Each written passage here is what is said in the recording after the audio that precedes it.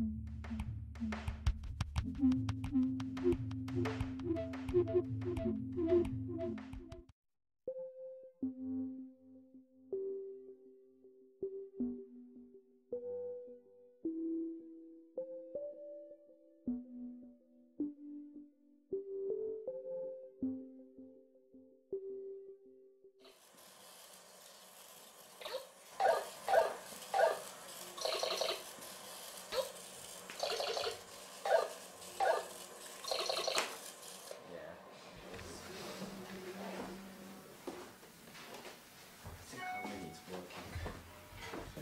Bunu çevirdikçe bir ritim yaratabiliyorsunuz.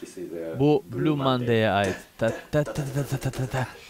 Yaptığı şeyler ileri teknik bilgi gerektirmesine rağmen bütün hepsi son derece insani ve eğlenceli olduğundan küçük çocukların bile ilgisini çekiyor. Yuri bu proje için teklif verdiğinde sesin kopamayacağımız, her yerde, her zaman karşımıza çıkacak bir şey olduğundan bahsediyordu. Öğrenme galerisinin bir parçası olduğu için Tate'de sergilenenler ile insanlar arasında bir bağ kurabilecek bir şeye ihtiyacımız vardı. Burada 3 tane müzik kutusu ve içlerinde de 240 tane 7 inçlik plak var. Her plak 10 yıllık bir döneme ait. Yapıldığı dönemin ruhunu yansıtan belli parçalar içeriyor. Bu parçalar tamamen rastgele seçilmiş. Mesela bir küratörün eserler hakkındaki yorumları bir eserden ilham alan ses ve müzikle eşleştirilmiş.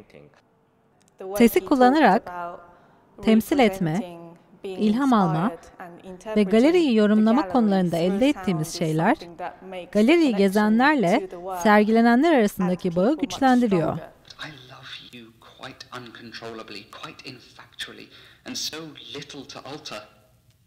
I dare say you look at one as rather a featherhead and something of a buffoon, but I Neler olup bittiğini gözlemlemek için galeride uzun süre harcadım. Gördüklerimin oldukça şaşırtıcı olduğunu söyleyebilirim.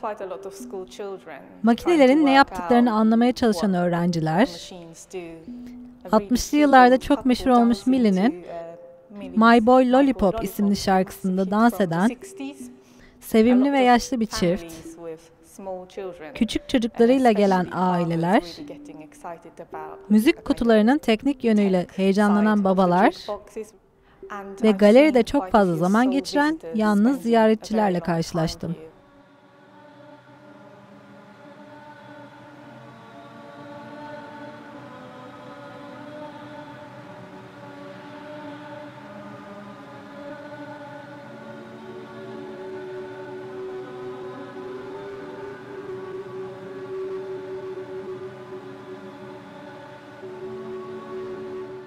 Müzik kutusu çok ilginç bir ortam yaratıyor.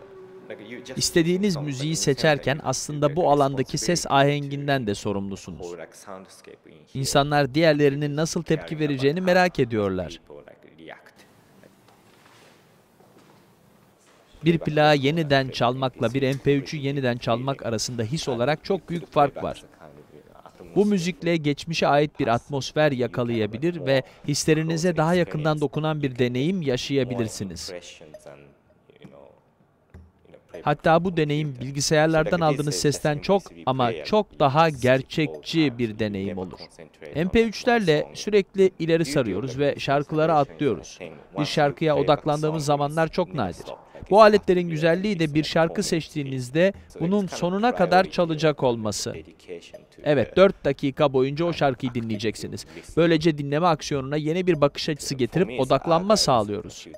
Arşivler benim için 10 sene sonra, 20 sene sonra ya da 100 sene sonra bizden sonra gelecek nesillere aktaracağımız geleceğe ait miraslardır. İçeriğin yanında kullanılan sistem ve formatlar da oldukça büyük önem taşıyor. Benim tasarım üstüne üstlük bir de müzik geçmişim olduğu için müzik ve fiziksellik arasında bir şey arıyorum. Plak kullanmamın sebebi datayı fiziksel bir formatta saklama olanağım olması diyebilirim.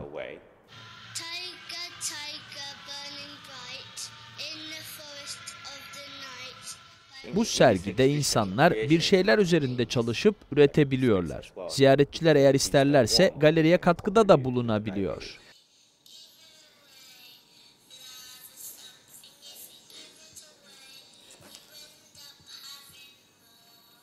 Bu plak üreten, genellikle plak kesme makinesi denilen bir makine.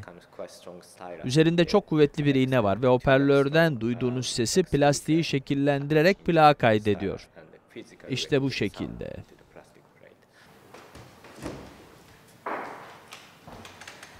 Love is something if you give it away,